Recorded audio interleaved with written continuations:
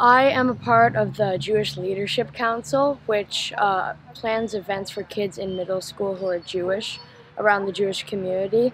And it's been really fun just getting to know other kids. And I go to a public school, so there aren't that many Jewish kids, so it's just nice to know that there are some kids here that are my age.